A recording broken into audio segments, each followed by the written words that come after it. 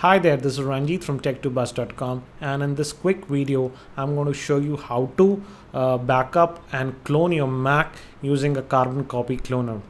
Uh, you might ask why do we need to clone uh, your hard drive? By using this uh, carbon copy cloner we're going to make an exact image of your existing hard drive to another hard drive and to use the same you just need one spare hard drive uh, it can be attached to your mac directly or you can even use an external usb uh, portable hard drives that we find. The second question is why do we need to do that?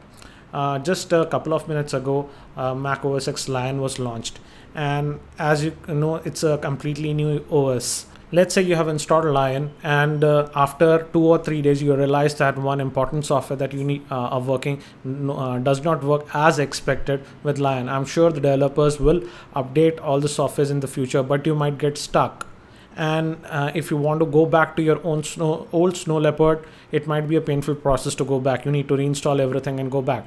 By cloning your hard drive you can just directly go back to your old system. So i would uh, suggest that if you're moving to a new operating system or doing a major revamp uh, you need to clone your drive. And uh, doing that is really easy and i'm going to show you how. You can just go and download this carbon cop copy cloner from this url it's bum bich.com bombich and uh, carbon copy cloner is a free app to download. Just click on here and download the same. I have already downloaded and let me switch over to it. Before uh, opening the app you just uh, connect your external hard drive to your mac. If after connecting it you get a notification by time machine to initialize it just cancel the time machine setup. We do not want to do that also make sure that now we're going to format the uh, extra hard external hard drive that you have attached. So if there is any data on that just back it up. Now let me open the carbon copy cloner and this is the interface you see. There are two panes basically. This one is the source disk and other is the target disk.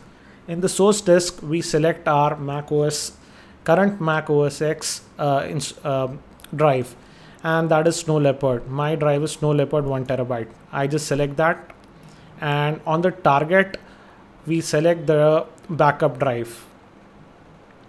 Before doing that just open disk utility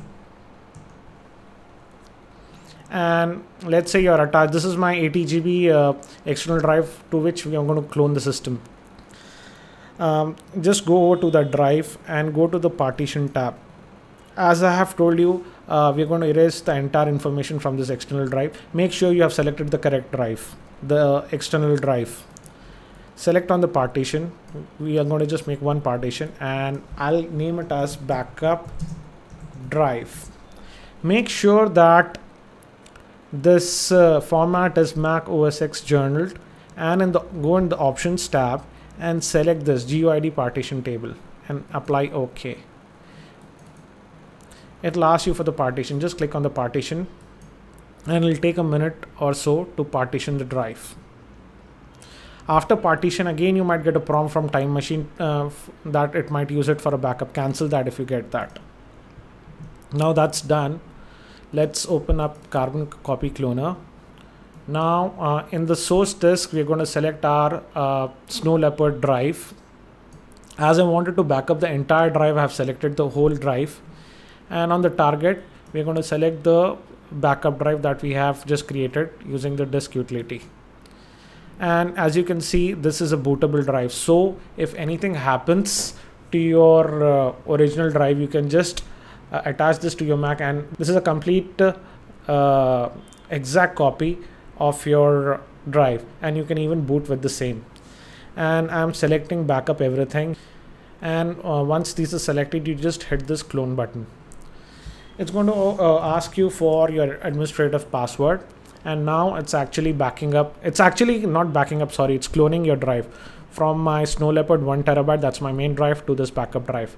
Based upon your data it might take from anywhere from 5 minutes to 30 minutes. Also i wanted to mention that the backup drive that you have attached should have sufficient space so that you are able to copy the entire data.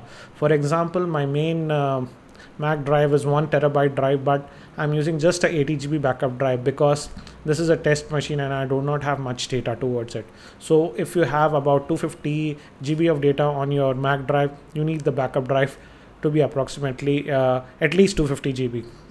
Many people have the misconception that you need the same size drive to clone. That's not the case.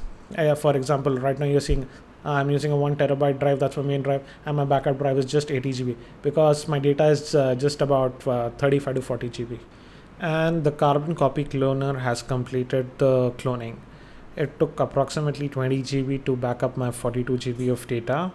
Now uh, just press ok. You can close this carbon co copy cloner and I suggest that you unmount the backup drive and disconnect it and keep it at a safe place. And when if you like to restore from that you can just connect it and you can boot from that drive I hope this video was helpful. If it was helpful, please click on the like button given below. I'll be doing a couple of more videos later on on the uh, OS X Lion for the next few days. That's it for now. This is Ranjit for tech2buzz.com and hopefully I'm going to see you in my next video.